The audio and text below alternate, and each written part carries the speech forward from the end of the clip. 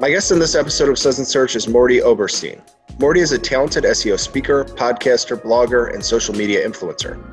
He's presented at SMX West, SMX Advanced, Ungagged, DMI Expo, and many other places. Mordy is also one of the most popular SEO podcasters. He's launching a new show called Behind SEOs, where he's already lined up some very impressive guests. In a former life, Mordy was a school teacher. It shows in his approach as an SEO educator, and this comes through most in his blogging content. I would encourage you to check out his column at Search Engine Land to learn more. Mordy hosts the popular SEO chat, which happens every Thursday at 1 p.m. on Twitter. To join in, simply check out the hashtag SEO chat and begin to participate. Until very recently, he was the CMO at Rank Ranger, the popular SEO tool suite. He recently started a job at Wix as their liaison to the SEO community. In a rare scoop for Suds and Search, we caught up with Mordy a couple of weeks into his new job to discuss how things are going. Grab a beer and tune in to learn from one of the really good guys in the industry. We'll talk about featured snippets, algorithm updates, NFL fandom, and the beer scene in Israel. Mordy Oberstein, welcome to Suds and Search. How you doing? I'm awesome. I'm I, I'm happy to be on the other side of the mic. To be honest with you, isn't that isn't that nice? I was on the other side of the mic on your on your show. It was a rare treat. Um, this is this is a big one for Suds and Search. We never get a scoop. This is as close to a scoop as we can, we can get. The, the multi-talented Mordy Oberstein, you you have you're going to a new place. You're at Wix, and a huge gift for Wix. them. Yeah. Um, for for a long time, you were CMO at Rank Ranger. That's how I've how I got to know you. That was my what, thing. What will you be doing at Wix? Um, I, I'm sort of like the SEO advocate or the, the liaison to the to the SEO industry, sort of trying to change perception around Wix and sort of involving the community in what Wix is doing to improve its platform around SEO. Because there's a there's a ton of stuff that that's already changed and a ton of stuff that's about to change um, in terms of SEO at Wix. And I'm sort of like the contact point between what's happening on the technical side and you know communicating that to the industry. So awesome. So what can you communicate so far? You've been on the job what two weeks? Like, what, what yeah, I've, I've been there for like two weeks. Okay, so like you know, I'm like a little bit of. I don't even know what I'm allowed to say legally. Um, All right. We're a publicly traded company, but I can tell you that there is a big change coming to site speed um, relatively soon on desktop, and that'll be followed by mobile at some point. The mobile side, I can't give you a timetable on. Really, I don't know but the, the, the, the change to desktop site speed is coming relatively soon, and it's, and, and it's very significant. And after that will come um, mobile doing it in stages. And I, I, can't give you a timeline on, on the mobile side, but it's, it's we're taking it very, very, very seriously, and it's coming, and it should be cool. I mean, I'm very, we're all very excited about it. Well, they're assembling a really nice team. It's not just you. There's some other really yes, okay, flight so SEOs there. I yeah. definitely want to like dispel this notion like, oh, it's Mordy coming in. And there is a, there is a very um, solid technical SEO team. In fact, the, I got there because um, so what, one of my former podcast guests from Rank Ranger, um, Nati Elimelech, um, who was the CEO of the largest SEO agency in Israel, he left that and he's I, I would say he's considered the top technical SEO in the whole country. And he went to Wix he's like, hey, why don't you come over with me? And that's how I got to Wix through him. But they've built and they're still building a really strong technical SEO team. There's a ton of stuff that's changed. Like, there's a ton of misconceptions out there about Wix and SEO. Like, oh, you can't edit your robots.txt. Yes, you can. Um, it's been that way for a while. So like, there's a ton of stuff that's actually changed already. Um, you know, they are catching up, and there's a, there's a ton of stuff that's coming, and I'm, it's really exciting. That that's I'm I'm, I'm babbling away because it's very exciting. Well, awesome. Well, I, I want to make sure that some things aren't changing. You are still going to be behind the mic. You still have a podcast. Is this correct? Yes. Um, oh, that's another new thing. So it's called Behind the SEOs. It's a monthly podcast. Um, it's myself and Yosef Silver, another former guest of my former podcasting days. That podcast that shall now remain nameless. Um, and it's it's a it comes out the first Thursday of each month, and it's about the lives of SEO. So not like about SEO per se, but like people you may have seen on Twitter, like who the hell are they actually? Um, like what's all their juicy gossip? How horrible people are they, or how great of people are they? It's just exploring their lives, kind of thing. And um, it, as we're talking, it hasn't gone live yet. We haven't done our we haven't released our first episode, yeah. but um, I don't know when this episode is coming out, but we've talked to Heather Physioc. Um, we just finished up with um, Lily Ray. We're talking to um, Areej. So a lot of cool people coming on the show, and it's like fun just to talk about them and like hear like what's happening in their lives because like they're just cool people. No, no doubt. Like I think that's one of the really fun things about doing this podcast is everyone's very smart and really interesting. They come from totally different. Yeah. You know, outside outside of work, they have totally different interests. Right. Like Lily's a DJ. I don't know anything about DJing. Um, it's, it's, it's, it's, it's fun to meet these people. I like Mike King. I got to talk to. He's a rapper, but not like right, not like right. he has fun. Like he's like a legitimately excellent rapper. Right. Um, so I, I, think it's a great uh, a great concept. Have me on when you want to find out how not horrible somebody can be, because you mentioned. Nice. Okay. No, Yeah, no, no. I'm joking. No one's been I- horrible. I'm kidding. I, thing that's been horrible, like I'm horrible, like asking totally inappropriate questions, like, whatever. Um, the, the, the hard part is it's only monthly, and we're, we're like dying because we wouldn't have all these people on, but we're like it's only like 12 people a year, Yeah. so we got we got to figure this out. Like maybe we'll do it bi-monthly. We'll see. Okay. We'll Yeah, see. that's you're you're you're used to going at a pretty rapid pace. Yeah, well, I used to have an editing team behind me, so like it wasn't Ah. really like you know I wasn't sitting there editing the audio, but now that that's me actually doing it. So if the audio sucks, that's all my fault now. Whereas Okay. before at Rank Ranger, we had like an amazing, amazing editor. All right. Well, I'll make sure to be very judgmental about the sound of this thing, Yes, please uh, comment. and uh, and let you know. I and then Tell me. um, and then you're gonna. Con- what's your background? Like, did you just listen to the radio a lot as a young youngster? Like, you're very good at the whole. I, I again, the, the the I was about to use an example of the way you say the podcast that shall remain nameless, but you have this whole way of talking where you get excited. Did, what's your background on all this? Is it just uh, Um, just listening and, and trying to figure it out? I don't know. I have a big mouth, so that's that's definitely helpful. I have. I'm not drinking beer, which is like ridiculous. Why am I not drinking beer? totally forgot. But and, and it's like it's like 10:40 at night for me. I can drink whatever I want now. Oh yeah. Um, and I have my I have my last beer glass that my kids didn't break. So Yeah, you, you and I, you and I have bonded over the the young kids' crazy life of uh, young Mhm. parents, but this COVID thing is really, oh man, for We're, us like, parents, it's in a, lockdown here. The kids are home. My wife's a nurse, so she's out at work. So I'm like at home with them alone. It's not it's not good for anybody. Um, my kids are gonna need like like major help by the time they're done with this. Anyway, um, back to your original question, I used to be a teacher, so maybe that's what it is. right, And I'm used to performing all day long. Which, by the way, the hardest thing you will ever do is teach.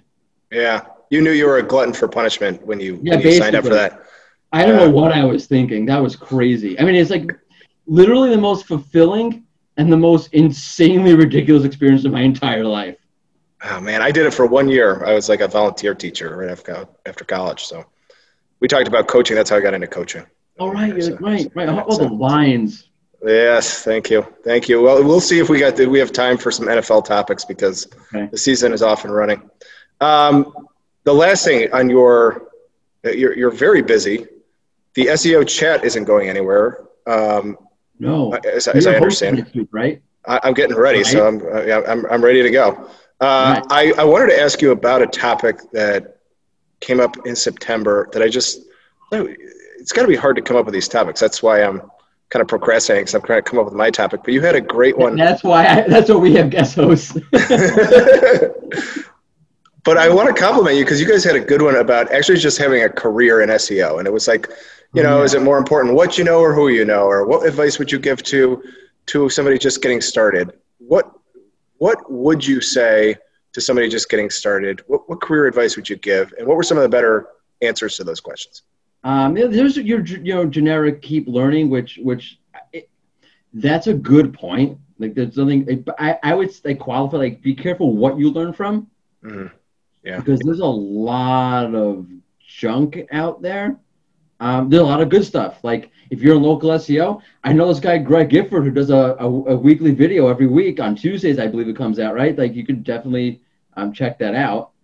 Thanks, Like, Maury. A little cross promotion for us. I like it. Very good. Yeah, and absolutely. But like you know, like I, funny thing is like you could like say like okay, I'm gonna start reading you know all the, the beginner's guide to this and you know five ways to build backlinks and ten ways to do this. I would just follow the news. Like I read Barry Schwartz, so Yeah. I, like plug to Barry Schwartz. Like I would read SEO Roundtable every single day. You get a real feel of like how SEO is evolving and changing. And I don't think people talk about that enough. Like I don't think they focus on that enough. Like how is the ecosystem changing? What is it? What was it? And how do I need to react to it? And yeah. And what. What role do you think? I'm amazed at how many people kind of got their start or got their big break because of Twitter. Or they, yeah. they, they, they were like, you know, I, I talked to uh, or like Blake was, was an example of like he's a great speaker and local, and I asked him about it, and he's like, honestly, it was just Twitter. I, I just tried. I, I made friends, and uh, little by little, he became part of the community. What what role does Twitter have in all this? Um, oh, I mean, for me personally, a lot. Like there have been people who have helped me along the way, like particularly like Barry Schwartz. Like he's somebody who has definitely helped uh, my career And he's an amazing person who will like he will plug you and he'll put you out there and he like he's trying to do it on purpose to help you out and, and that's sort of like the twitter equation notion because it's, it's a lot of it's who you know it's like what you know versus who you know and it's kind of both mm-hmm. and and it's i don't want to say it's marketing yourself because i don't like doing that like i i hate marketing myself i find it awkward i think um, everybody does yeah. yeah i mean i guess like you're a real narcissist like maybe like you're like this is awesome i'm so good look at me. But um it, it's the ability to like show how sub how much substance do you have? Like you have substance i'm i'm assuming somebody has substance and they have you know to offer and something to say and it's about like being able to market that i don't mean that in a markety gimmicky kind of way but being able to you know find the opportunity to showcase that and then you make you know natural connect people appreciate that you meet people and the more people you know the more opportunities open up and the more um you know things that you never would have thought you would know or learn or be able to explore kind of just open up naturally. So yeah, it, it's it's a lot of like what you know combined with who you know. I think you need both. Right, I agree with this. Well, if people want to uh, want to follow SEO chat, it's Thursdays at yep. one. Is that right? Do I have this? Yeah, my... that's right. Okay. Thursday, 1 p.m. Eastern time. Like mental note. Mental note. I know this is going to be really fun. I'm moving on. I'm closing on a house on Monday. Moving on Tuesday. I'm going to be. Awesome. It, it, could get really interesting on, on Thursday because oh, I think boy. that's when we, when we nice. talk. So that'll be good. um, I, have to I have to calendar you again. I think like to to jot it down in your because my calendar's a disaster because I just left Rank Ranger like two weeks ago and everything was there and I tried to put it onto my personal email which is a hot mess. So yes. I'll, you know, I'll I'll invite you again to remind you. All right. Well, very good. Um, I want to talk to you about like I'm a local SEO sometimes I feel like we aren't considered the sexiest uh, type of SEO there is. You you kind of talk about these cool topics like uh, algorithm updates and EAT and all of this stuff. And we met at SMX West. That's where I heard you right. give a presentation, and I've been wanting to ask you some questions about this. Sure. You know, hope, hopefully I have answers. You know, we're we're living in a in a world of core updates now. So when I first started, if there was an update, it would be like okay, for mobile phones or for page speed. It'd be for a specific thing. Right. Now it's harder to pinpoint that. What have you learned from these rolling core updates? Is there any common thread between them? I think there is. I look, like a lot of it's a matter of debate. No one is Google. And, and there's, you know, I, I, I think it's nice to have the discussion. And I like to preface this like, I don't have all the answers. Uh-huh. I am not a super authority. I have a lot of cool theories about this and there are people who definitely disagree and take a different way. I think it's a case for both sides. Like it's gonna be like um, intellectually honest up front. Um, so like you have your unconfirmed updates and you have your core updates. The unconfirmed updates, when I've looked at them, which like and re- thank you Rank Ranger because I still have a lot of my data that data. I can look at. Yeah. Yeah. Yeah. And and they, and they let me still have access to a lot of stuff, so they're awesome. Um, the unconfirmed updates I found to be a little like more like all over the place. Like Google rolls out something, and you see that like a lot. Like you'll see like Google um, we'll roll something out, it's unconfirmed, and then they'll reverse it roll two it days back. Later. Yep. Yeah, yep. and you see a lot of testing, and I almost feel like that's like prepping for the core updates. They're trying, to, you know, a little bit of this, a little bit of that, and and, and when you know they, they get a sense of what's working, what's not working, and then they roll the core update. Like, okay, we're gonna roll out what did work and leave aside what didn't work. Um, with the core updates, I find them ironically to be a little bit more patterned than your average unconfirmed update. And still like finding those patterns like literally like like diving to a needle like in a haystack and like the haystack is the size of the Empire State Building. And sometimes you walk out with like I have no freaking clue what's going on. More often than not, I'm like, I don't understand what the hell's going on. But every once in a while, you kind of walk out like, oh, I kind of see a pattern here, and that makes a lot of sense. And the the string that I see is that Google is like looking at sites from an authority perspective. Like, who are you? Like, and I think we like in SEO, we, we like SEO everything. Like, oh, authority. Authority is your author profile, or it's links, or it's all these things, but it's really not. Like, authority is really your identity, right? Yeah, like, that's what you mentioned. You use this word yeah. identity. I hadn't heard it before. I heard you say it. So, no, like you said, like, you said like identity or lack thereof is usually a, a big determinant in these things. What, what do you mean yeah, by that? Um, I, I mean it like as it actually is. I'm like, I, like let's take it out of SEO for a second. Like, what is authority? And, and I think it's important to do that because that's what Google's trying to do. They're trying to understand authority as a person would. I mean, obviously, they can't do that to the extent that we can. They use, as Danny Sullivan said, various signals to sort of mimic what we would actually do as pe- as people. But like, if you were to walk in, I think the example I gave at SMX West. I'm just going to use the same one. Um, if you walk into a doctor's office and you ask see the doctor, and they ask, and the receptionist said, "Would you like to see the doctor about your, you know, your throat being on fire, or would you like to buy a falafel from the doctor?" You'd be like, like, what the freak? Like the doctor sells falafels. What kind of doctor is this? I'm out of here. And having that singular identity of like, this is what I do and I'm a professional at this, and this is my expertise, and this is where I'm author. It means you're authoritative in this particular area. And spreading out too thin or having too many identities, too broad of an identity, can mm-hmm. can in certain cases take away from your authority. I mean, I mean, like it's in the real world, and it's very much the same thing with Google. Like if you're going to write, like imagine like a crazy case, like you're going to write about um, um, computers and you're going to write about beer. Yeah. Like, doesn't make any sense. Like, who the hell are you? And I don't think you're an authority about beer because you're talking about computers and what the hell is the connection between the two of them. So right. the stronger your identity is, the stronger your authority is. That's really my that's this concept that I have. Okay. Do you have any examples of people who are really doing this well, like people who, who understand this this new way of uh, putting your identity front and center and taking advantage of these EAT signals? Sorry, I thought your question was going to go on longer, so I tried. That's okay. um, it's time to jump. Yeah, I get it. Yeah, no, it'll give me time to think. Um, this obviously yeah, like Lily Ray's doing a ton of amazing stuff. Like she is an amazing write-up. Yeah. I forgot when it was, um, but on the Path Interactive blog, she did a whole study of like looking at various signals and, and various uh, metrics and seeing like what correlates to ranking better as a result of the core updates. And that's a great piece there are definitely people who are doing a lot of work, and I don't like.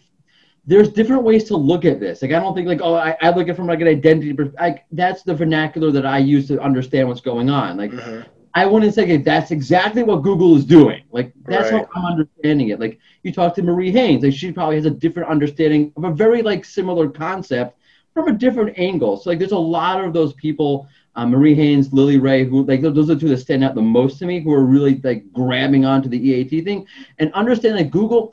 Look, um, uh, who was it? It was Eli Schwartz gave his example. He said Google has the ability. He at the time lived in San Francisco in the in the in the Valley area, and Google was testing out their self-driving car, mm. and he said that Google can tell if a squirrel jumps out in front of the car or if a person jumps out in front of the car. Wow. Right?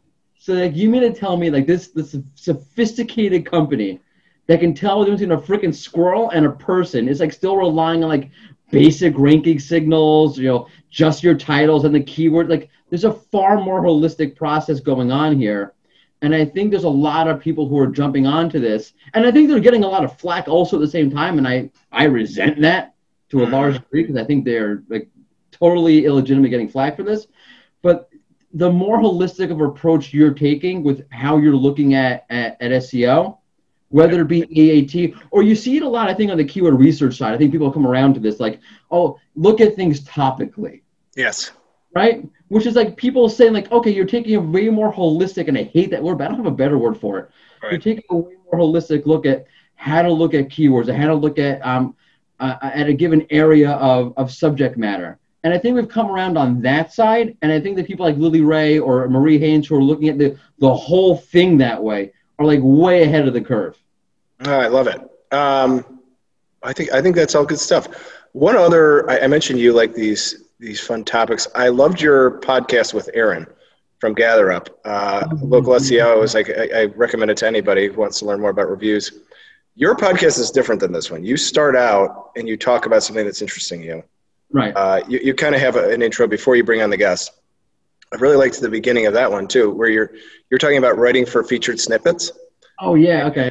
And it's a little bit. It was it was really good because there is. Do a Google search, you can find seven articles about how to write for featured snippets, but you you started to say like in in real in the real world like sometimes you're going to be talking about string theory or something i forget how you, how you put it and so like how are you going to adapt these seo hacks to this complex topic uh, maybe give our audience a, a, sense of like how to write for featured snippets and how to get over these uh, these kind of com- complex topics. So i have a particular i'm biased. I have a particular disdain for bullcrap and and i I'm not saying like the typical advice is bad, but if you start seeing the same thing over and over and over and over, you have to realize like that author knows that somebody else already wrote this right. and doesn't care. Right, right. It's like how authoritative is that? Yeah. And I take that to your EAT. There you go. Right, exactly. Yeah. Um, there's different types of content. And I feel as SEOs, we stereotype everything, right? So we think like, okay, what's content? It's a landing page that's selling Campbell soup. I use Campbell soup because that's on the poster behind you. Um, and, and, like that's that's what we're trying to rank for. Like, what is Campbell soup or how to make Campbell soup, and all these like basic like top level kind of pages, top level kind of queries. But people are searching for real things. I remember like I was searching, I was doing this research piece which I never finished, and I'm I'm trying to finish at some point. Um, about like what ranks for top level um, health queries, and it's like okay. all like your WebMDs, your Mayo Clinics, your Hopkins Health, whatever it is. And then I was trying to find like you know more real, longer tail kind of health queries. I'm like looking at the tools and blah blah blah. I'm like I'm not. I wasn't, I'm like my sister was pregnant at the time. She's still pregnant. I'm like hey sis, what would you search for? And she gave real questions. Like this is like totally different than anything yeah. any of the tools are giving. You. Which, by the way, just to show you like what the tools are giving you now they don't work for a tool right. is generally crap. To yeah. a certain extent, like it'll give you a general top level idea of like, hey, right, um, if you want to cover this topic, these are the general things you might want to talk about. But in terms of like what your audience is actually interested in, it's like total crap. I mean, yeah, some people yeah. other tools. I'm not like, and I'm not trying to you know crap all over the tools because I used to work for one. Yeah. But at the same time, like no, like you have to go a little bit deeper. And what I saw those questions were like they were very intricate, they were very detail oriented, they were very very real world. And the type of pages you get back for that kind of query is very very different than what you get back for your typical top level, what we think is a search or what we mm. think represents a, a page in the SEO world. Right. And the example like I think I gave in the podcast was like if you're like doing a, a some kind of like crazy search for like why string theory doesn't align to quantum physics. right. That was the example. Yeah. Right. Uh, like you're gonna get back a whole article, and it's not gonna have it's not gonna have bullet points, and it's not gonna have a table, and it's not gonna have your H two. Right is probably going to be an essay by some like dude who knows physics or some Judess who knows physics, and, and it's going to be like way beyond. Like, if you try to write a page like that using right. bullet points and like, it's ridiculous. And yeah, and the point was like Google has mechanisms to deal with that. Right. It's called, it's called things like BERT. They're yeah. trying to be able to be to pick out answers from less structured content because they know that not all longer tail, I hate to use that expression, is going to be less formatted because it's just more in-depth kind of kind of content. So I'm not saying you shouldn't do those things that everybody's recommending. I'm just saying like don't like don't do that for a page where it doesn't make any sense to do that to. Yeah. It's well, I love it. Yeah, I think I, I think this is this is all great, and I, I would re- highly recommend maybe I'll put it in the show notes. The whole Aaron uh, interview was great, and he was fantastic. Because I'm not, like, I'm not a local SEO person at all. It's like reviews, like I should probably, as a CMO, I should probably think about them more than I did. Um, Yeah. just, you know, Yeah. now I can admit that in hindsight. Yeah. And he's like some amazing. Like he blew my mind how you reuse it. And by the way, it was like it was like a seamless plug for the tool. I know. wasn't it? He's he's good. He's good. Um, well, great. Well, before I let you go, I got to hear. Uh, what do you think of the Steelers so far? Big Ben, he looks healthy. He looks good. Sometimes that offense kind of has these like like temporary pauses, and that kind of concerns me. But they they always play like. I hate getting my hopes up on the Steelers because they, they at the end of the day they always let me down. And I, I know I'm saying this a spoiled Well, brat because we have a Well, lot. listen, listen. Yeah, Yeah. the Lions just won. The Lions just won for the first time in 12 weeks. So I, I mean, uh, right, right, right. I think you can go like the Steelers won like four Super Bowls in my lifetime. So That's good. yeah. At least you're not the Jets, man. Oh, that is a I- dumpster fire. I think if you had a Jets fan on here, you'd say at least you're not the Lions because that's also they're, No, they're, they're no, both terrible. I, I, my brother-in-law's a big Jet fan, and he Uh. like, "I have not watched a single snap of Jet football this season. I can't do it." Uh, it is a tire fire there too. Yeah, it's it's no good. Um, well, no, I, I would appreciate it for my fantasy football team if uh, you can make sure Juju Smith-Schuster catches a lot more touchdowns. I'll, I'll Uh, let him know. You just kind of give use your use your fan right. mentality through the TV, and that, that'd be great. But I, I Well- will. well, Maury, uh, how do people get in touch with you? What's the best way to contact you? Um, Twitter. Twitter is good at Mordy Oberstein. Uh, I'm on LinkedIn. Don't really do Facebook and Instagram and that stuff. Snapchat, nope. TikTok, no. So Twitter and and, Insta- and Instagram and um and LinkedIn, but mostly mostly Twitter. I'm on Twitter. All right. Well, congratulations on on the new job at Wix. You're one of the really great guys in SEO. So I'm happy to see good things happen to good people. So I really Uh, appreciate it. good luck at the job, and, and thanks again for coming on. My, dude, thanks for hosting me. This is awesome. All right, let's do a, a, a virtual cheers. It's probably now uh, 11 o'clock where you are. Thanks again for coming on, and uh, hopefully the kids aren't still up and you can get some rest. No, they're they're they're sleeping. Thank you. All right, buddy. Well, thanks for doing this. I'll talk to you soon. Yeah, man. Take care.